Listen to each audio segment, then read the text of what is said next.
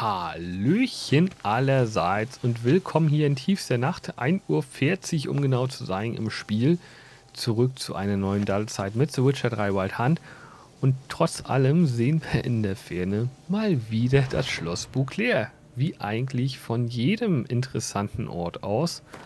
Was ich irgendwie mehr und mehr faszinierend finde, was für ein Blickfang aus allen Lagen das eigentlich ist. Aber wir haben den Speichel vom Wicht, beziehungsweise die Suppe vom Wicht. Aber es ist ja irgendwie so ein und das gleiche, mehr oder weniger. Und können uns damit auf dem Rückweg zu Regis machen. Habe ich mir sagen lassen. Aber erstmal töten wir hier noch so ein kleines Fahrgastviech. Genau. Und dann bin ich ja schon fast gespannt, was Regis zu unserer neuen Beute sagen wird. Gut, in die Richtung sehe ich jetzt nichts weiter. Das ist ganz angenehm. Haben jetzt auch wirklich mehr als genug Viechers hier auf dem Friedhof ermordet.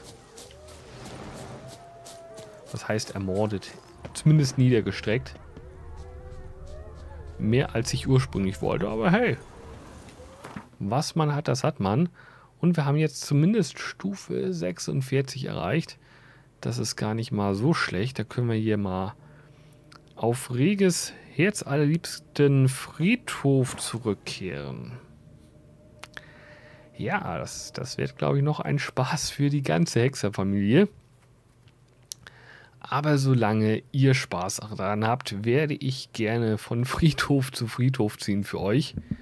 Das mache ich doch von Herzen gerne.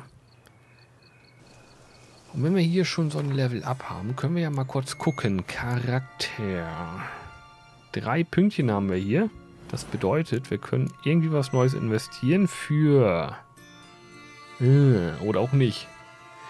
Jeder tödliche Hieb mit einem Schwert zerstückelt den Gegner oder aktiviert finale Hiebe. Jeder Hieb mit einer Waffe im Nahkampf erhöht die Angriffskraft um 5% auf maximal äh, 250%, bis der Kampf beendet ist. Der Bonus geht verloren, wenn du Schaden erleidest, außer durch Toxität. Klingt gut, ist auch so. Aber vorher müssen wir offenbar noch hier... Wo haben wir es denn? Ne, unter Alchemie müsste es sein. Da. Das schließen wir, das schließen wir, das schließen wir, das schließen... Oh, Quest. Hm? Wofür brauchen wir denn das? Whatsoever. Öle. Nee, nee, nee, nee, nee, nee. Alchemistische Substanzen klingt irgendwie cooler. Äh, da haben wir dies. Wir können auch hier umwandeln irgendwie, ne? Da rotes Mutagen. Ja, das ist auch eine Möglichkeit. Ja, komm, machen wir mal das. Das ist eine Idee. Wir stellen jetzt ein paar rote Mutagene her. Können wir hier auch gleich mehrere machen oder offenbar nicht? Dann eben nicht. So, wo haben wir denn? Rotes Mutagen. Ja, stellen wir noch eins her. Und noch eins. Und noch eins. Und noch eins. Und wisst ihr was? Noch eins. Und dann gehen wir noch mal einen höher und sagen, hey, noch eins. Und noch eins. Und noch eins. Und noch eins. Und noch eins. Och, wird das langweilig? Nein, wird es nicht. Ich kann das den ganzen Tag lang machen. So, großes rotes Mutagen. Das brauchen wir jetzt für den Sheet hier. Zack, sieben Stück haben wir. Mehr als genug und Bums. So, wie viel brauchen wir denn? Warte mal, was steht hier? Nee, das steht hier. Anzahl erforderlicher Mutationen, um die nächste Stufe zu erreichen, 4. Das bedeutet eine einzige noch. Dafür brauchen wir zwei Fähigkeitsstufen, glaube ich. Und genau. Dann können wir den nächsten Platz freischalten und dann können wir hier sagen, hey Leute, noch ein Blutbad hier oder so. Das wäre gar nicht mal so schlecht. Erhöht von Kampf, äh, zu Kampfbeginn die Schwertangriffskraft und Zeichenintensität 30 Sekunden lang für jeden Gegner nach dem ersten um 30 Prozent. Leck mich am Arsch. Wenn die Vitalität 0 erreicht, wirst du vorübergehend unverwundbar und regenerierst 100% Vitalität. Bam! Der Effekt ist nur einmal alle 180 Sekunden verfügbar. Aber wenn ich den innerhalb von 180 Sekunden mehrfach bräuchte, dann wäre ich gar nicht mal so gut. Wobei mich die eine Quest ja echt schon überraschend hart gefordert hat. Aber gut, gehen wir mal zu Regis und gucken, was der hier so für ein reges Interesse an uns hat. Gell? Geld. Hm? Wie auch immer, da ist irgendwas hier geknirscht. Keine Ahnung, was genau.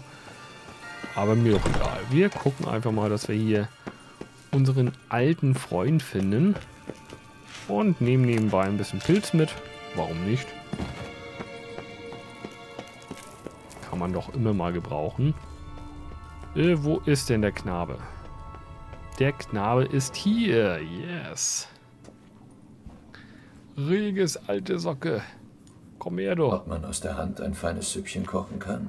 Hm, du verfeinerst deinen Humor immer weiter. Aber wir sind keine Kannibalen, Gerald.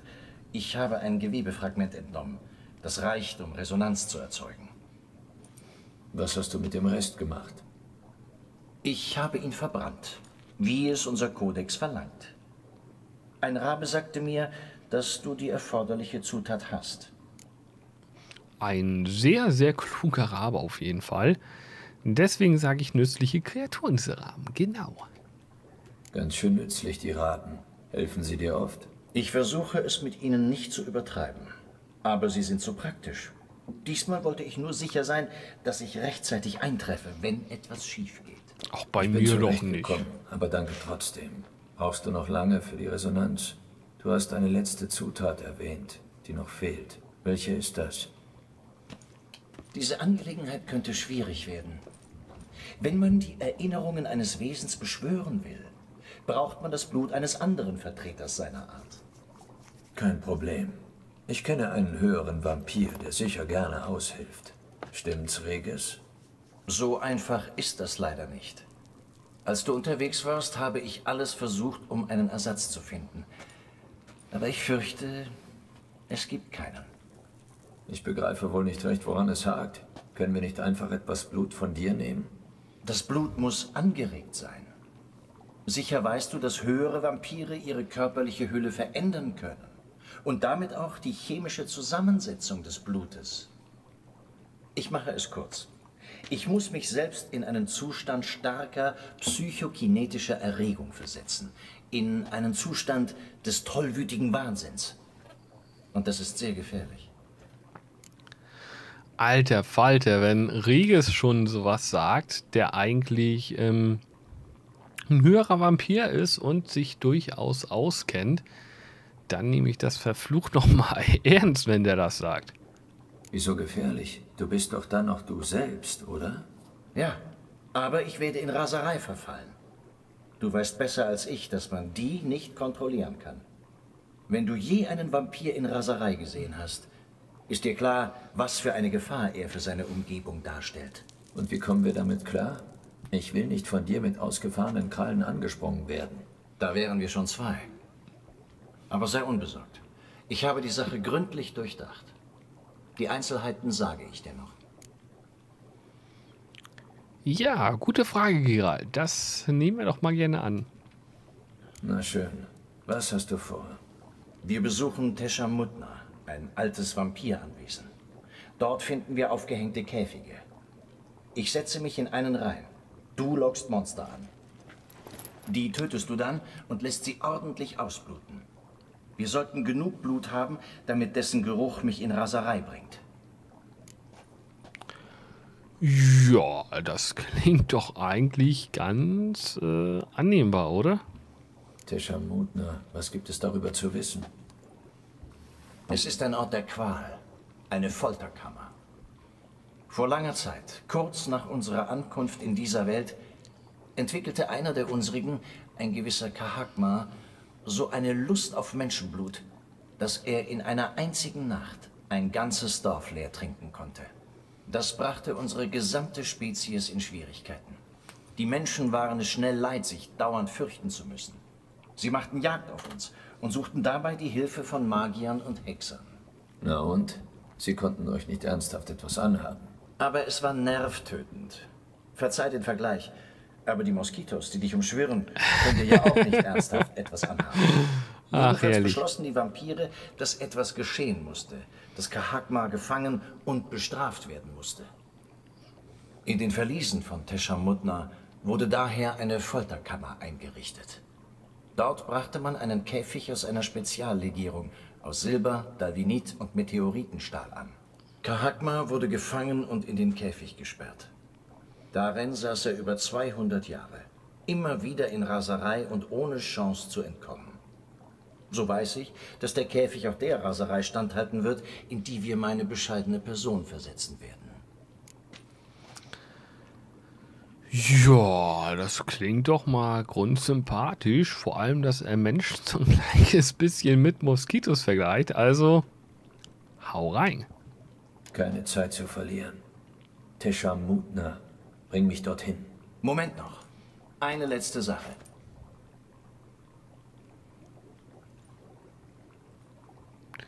Na komm, was ist es? Was war das? Blut. Der letzte Gefallen, den der Rabe mir getan hat.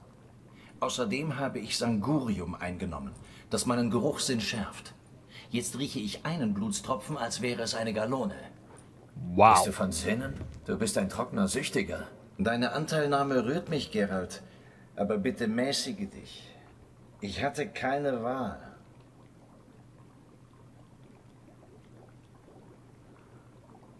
Die Ach. Würfel sind jetzt gefallen. Höchste Grundsympathisch. Zeit, nach Teshamutna zu gehen.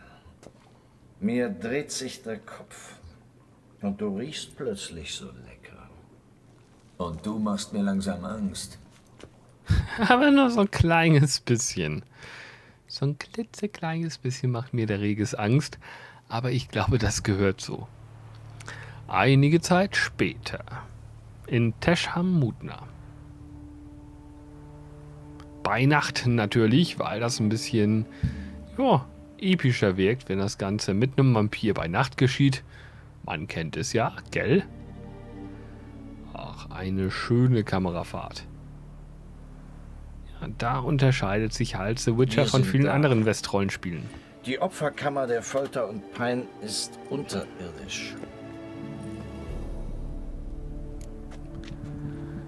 Ja, ach komm, haken wir noch mal nach. Wenn wir schon sowas zur Auswahl haben, dann nutzen wir das natürlich. Und du weißt, was du tust. Ich hoffe es nur. Gehen wir bitte. Je länger wir säumen, desto weniger habe ich meine Fakultäten im Griff. Ich will dich wirklich nicht verletzen. Ach, ich finde den Regis schon seit der Bücher richtig sympathisch. Also lesen, lesen, lesen, aber jetzt gehen wir mal voraus, beziehungsweise Regis geht voraus. Geh voran. Und ich folge ihm einfach mal auffällig, wie es ein Hexer nur kann. Und analysiere irgendeine Leiche offenbar. Platzer. Wir müssen nahe ihrer Fressstelle sein. Stimmt. Ich sagte ja, es wird gefährlich. Ach, Regis, du bist mir heute richtig sympathisch. Hinter dieser Wand liegt Ein altes Vampirverlies. Ich habe ja schon vieles gesehen, aber sowas noch nicht. wie ehrenvoll. So ein erfahrener Mann und doch kann ich ihm noch etwas Neues zeigen. Jetzt auf damit. Der klingt auch so wie so ein trockener Alkoholiker, der gerade zurück in alte äh, Sitten verfallen ist, der Regis. So ein kleines bisschen zumindest. Was zum Teufel? Wow. Uralter Schutz vor unerwünschten Gästen. Der Entriegelungsmechanismus reagiert nur auf das Blut höherer Vampire. Das Eine ist mal geil. gesicherte Vampirfestung voller trickreicher Fallen. Toussaint war euch anscheinend mal wichtig. Oh, das klingt nach einer schönen Sache Das hier. wird es auch immer bleiben. Bei der Konjunktion hat sich das Tor aus unserer Welt in diesem Land geöffnet. Dies war der erste Ort, den wir sahen. Der klingt schon ein bisschen angesäuselt so langsam. Oh. Ich bin der Diener des Stammes. Erhaben über die Menschen künde ich von ihren Schwächen. Erhoben über sie bin ich der Hüter der Herde. Voll der Stärke richte ich das Schwert gegen die Feinde des Stammes. Ich bin der Herr und Knecht zugleich. Ich bin der ausgeübte Willen des Stammes. Ich akzeptiere dieses Schwert und diese Rüstung, auf das ich dem Stamm dienen kann. Klingt sympathisch. Oi.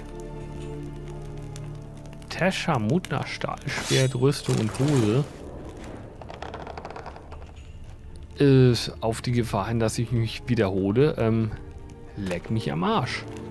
Menschenhaltung und Pflege. Menschenhaltung und Pflege? Kein Sorry. Witz. Aber das muss ich wirklich lesen. Okay. Bei der Menschenhaltung kommt es darauf an, Bedingungen zu schaffen, die auf der einen Seite das Überleben der Herde sicherstellen, auf der anderen Seite aber das zum Überleben nötige Minimum nicht zu sehr übertreffen. Dabei gilt es äh, stets zu bedenken, dass Menschen über eine hohe Intelligenz verfügen oder nennen wir es Schleue und Instinkte, die es ihnen erlauben, ihre Umgebung so weit wie möglich für sich zu nutzen. Für die Haltung heißt dies, dass Menschen immer versuchen, mehr aus dem zu machen, was man ihnen gibt. Aus diesem Grunde sei empfohlen, jedem von ihnen einen eigenen Schlafplatz, zwei Mahlzeiten am Tag und ununterbrochenen Zugang zu Trinkwasser bereitzustellen. Diese Bedingungen, die vielleicht manchen übermäßig großzügig erscheinen, sorgen für eine optimale Produktion hochwertigen Hämoglobins. Ähm, nähere Informationen zur Ernährung folgen in späteren Kapiteln. Ebenfalls entscheidend ist der, äh, der ständige Zugang zu Atemluft, ohne die Menschen innerhalb weniger Minuten sterben. Ja, das soll passieren. Es ist nicht notwendig, sich Gedanken darüber zu machen, ob die gezüchteten Menschen die oben genannten Dinge vervielfachen. Wenn man ihnen ein Existenzminimum bietet und Männchen und Weibchen miteinander mischt, werden sie sich zwangsläufig fortpflanzen, auch in Gefangenschaft. Es sollte nicht unerwähnt bleiben, dass es einen Denkansatz gibt, der besagt, man solle Zuchtmenschen mehr Freiheit und Pflege zukommen lassen, was auch bessere Nahrung und eine gewisse Freizügigkeit einschließt. Angeblich sorgt das für eine höhere Konzentration nährstoffreicher Bestandteile im Blut, sodass es besser schmeckt. Allerdings sollte nicht unerwähnt bleiben, dass diese Art der Haltung weitaus schwieriger ist und emotionale Bindungen erfordert, auf die wir in den folgenden Kapiteln näher eingehen werden. Interessant. Der Autor hat Menschen und ihr Verhalten studiert. Über die Jahre hat er sie gezüchtet. Moralisch fragwürdig, sicher. Aber wissenschaftlich sauber gearbeitet. Ja, das würde ich einfach mal so unterstreichen. Aber apropos unterstreichen, ich unterstreiche diese Folge einfach mal mit einem Ende und wir sehen uns dann beim nächsten Mal wieder, wenn wir vielleicht diesen Teil der Main Quest abschließen. Ich weiß es noch nicht so ganz. Ähm, ich hoffe, es hat euch gefallen, auch der kleine Vorlesetext gerade eben. Und wir sehen uns demnächst dann wieder. Ciao, ciao.